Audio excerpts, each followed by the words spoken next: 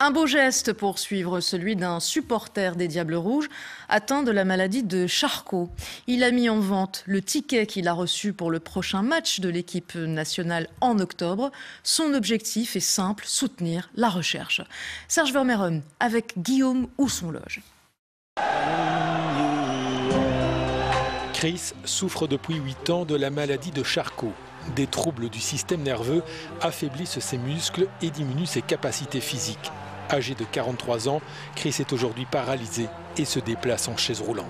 Fidèle supporter des Diables Rouges, il met aux enchères sa place pour la rencontre Belgique-Chypre du 10 octobre prochain, le dernier match qualificatif pour la Coupe du Monde 2018. Objectif de l'opération, faire connaître la maladie et aider la recherche médicale. Les gens en bonne santé disent souvent que les personnes en chaise roulante occupent toujours les meilleures places.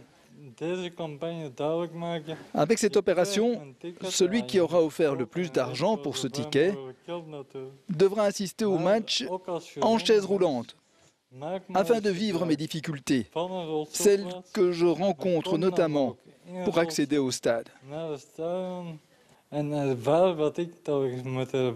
Concrètement, il suffit de faire une offre via Internet le donateur le plus généreux remportera la place. Les enchérisseurs seront tenus au courant par mail et pourront faire une nouvelle enchère.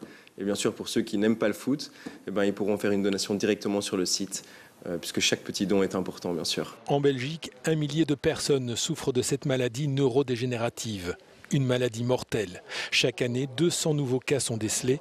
À l'heure actuelle, aucun traitement efficace n'a été trouvé. Trouver un médicament, lui faire passer tous les contrôles et le mettre sur le marché, ce sera sans doute trop tard pour moi. Mais je crois toujours en la découverte d'un remède pour les autres patients qui souffrent de cette maladie. Parrain de l'opération, Simon Mignolet, le gardien a fait cadeau de sa vareuse noir-jaune-rouge, un maillot que Chris rêve d'emmener avec lui l'année prochaine en Russie pour la Coupe du Monde.